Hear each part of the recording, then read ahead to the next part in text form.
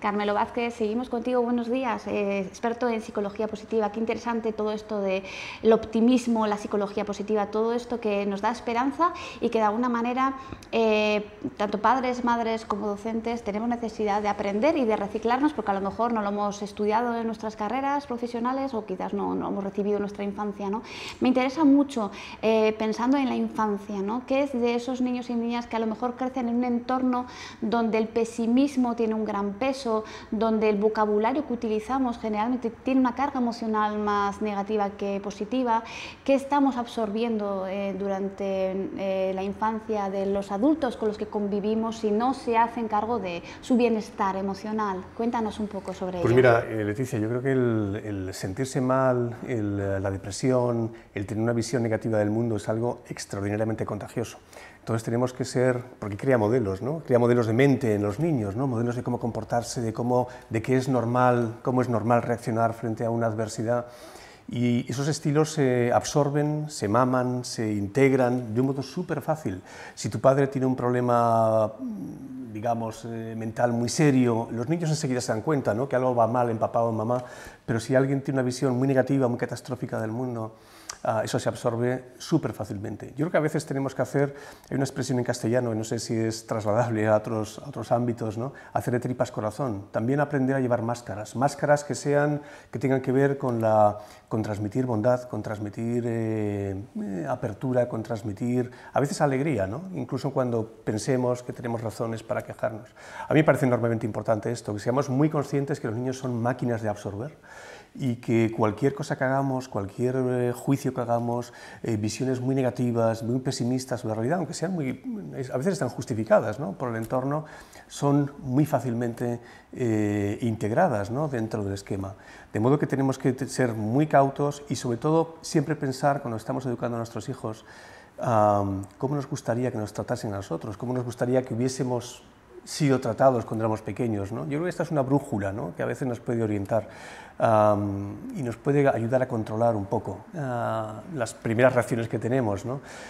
Hay adultos que a lo mejor dicen, yo ya eh, sé cómo tengo que educar a mis hijos porque estoy leyendo, la teoría me la conozco, pero en el momento en el que la situación me desborda, soy incapaz de, gestionar todas esas emociones que se, que, se, van como, como a chorros, ¿no? Eh, em, que se van soltando a chorros entonces no las podemos autorregular y acabamos comportándonos de la manera que no queremos, ¿no? pero no sabemos cómo hacer para, para darle a ese niño o esa niña esa respuesta respetuosa que en realidad necesita. ¿no? Entonces, eh, ante el sé lo que tengo que hacer pero no puedo, ¿qué, qué, qué queda? ¿Entrenamiento, aprendizaje, reflexión?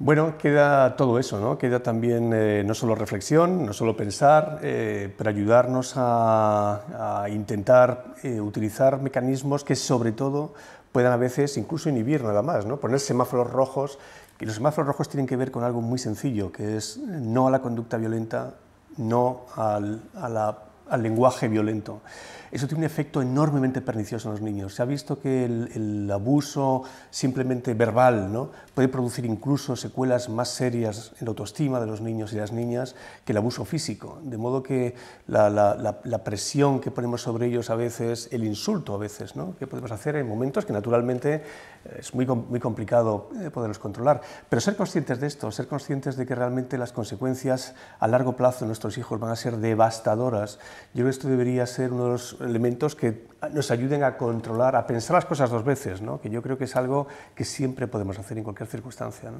Por un lado está la autorregulación del adulto, que tendrá que trabajar, entrenar y de alguna manera buscar sus propios recursos, eh, aprenderlos de adulto, puesto que de niño a lo mejor no los pudo aprender. Y por otro lado está la importancia de que mientras yo estoy trabajando eso en mí, ser consciente de la importancia que tiene que mis hijos también lo aprendan. Entonces, a mí me gustaría que nos explicaras eh, el experimento que se ha hecho con niños y con niñas ¿no? para trabajar autorregulación ¿no? con el masmelo o el bombón, ¿no? Eh, que, las consecuencias entre los niños que sabían ¿no? esperar ¿no? y los niños que, no esperaban. ¿no? Que nos expliques un poco, que creo que es muy interesante ¿no? ese experimento. Bueno, yo creo que una de, las, una de las tendencias en la psicología y la educación positivas es centrarnos no solo en el rendimiento, ¿no? que es en lo que está centrado una buena parte del sistema, sino efectivamente en competencias emocionales y en fortalezas psicológicas. ¿no? una de las fortalezas humanas es la regulación, la regulación emocional. Y hay un estudio muy bonito, muy, ah, muy divertido que se puede ver en internet de cómo se dejan dos caramelos a, los niños y se les dice, un caramelo creo que es, ¿no, Leticia? Que sabes tú algún detalle más de esto. Pues le deja un caramelo eh, delante de la mesa, el adulto abandona la sala y se le dice, si no te comes ese caramelo, ah, cuando yo vuelva te daré dos. Y es muy divertido ver cómo algunos niños luchan ¿no? contra sus impulsos de lanzarse al caramelo, otros se lo comen rápidamente, otros se quedan quietos, ¿no? muy reflexivos y aguantan muy bien la prueba. Esto es una prueba muy sencilla, una prueba muy trivial si quieres, pero unos colegas nuestros eh, vieron qué sucede con aquellos niños casi 40 años después. Aquellos niños que habían eh, controlado bien sus impulsos, aquellos niños que se habían lanzado simplemente a, seguir su deseo inmediato. ¿no? Y es un ejemplo muy, eh, si quieres, muy anecdótico, pero muy llamativo. Aquellos niños que habían sido, en general, no, todos, evidentemente, estos son simplemente eh, datos genéricos, pero general aquellos niños que habían tenido muchas más dificultades para controlar sus impulsos, al cabo de 35 años eran chicos o chicas que habían tenido muchos más problemas como adultos, ah, habían tenido incluso más eh, divorcios y separaciones, habían tenido más eh, probabilidad de tener delitos ah, y problemas legales y habían tenido también eh, menos éxito en su vida en general, lo cual es muy llamativo. ¿no? Y esto quiere decir que, elementos, entre otros, como la capacidad para autorregularse, para controlarse, para distinguir también entre el bien y el mal, ¿no? son elementos que son, uno, aprendibles y dos, que si no se hace, incluso desde etapas muy tempranas, pueden tener consecuencias muy grandes. ¿no?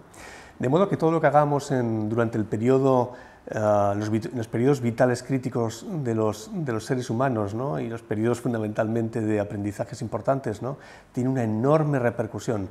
Uh, de modo que, que, podemos medir después, al cabo de décadas, estas pequeñas cosas que hacemos ahora, estas pequeñas semillas que lanzamos en los niños, pueden germinar al cabo de 20, 30 años, germinar como una esplendorosa planta o germinar como un, uh, iba a decir un cactus, no sé si es una buena palabra, ¿no? Uh, pero... Como conclusión sería que aunque no estemos determinados por la infancia, sí mucho de lo que vivimos durante la infancia va a tener un efecto en la vida adulta, aunque siempre podremos llevar a cabo acciones concretas para cambiar o moldear algunos aspectos o actitudes, ¿verdad? Pero esa responsabilidad que tenemos como adultos de trabajarnos a nosotros mismos para poder proyectar en nuestros hijos y nuestras hijas esa madurez madurez emocional, ¿verdad?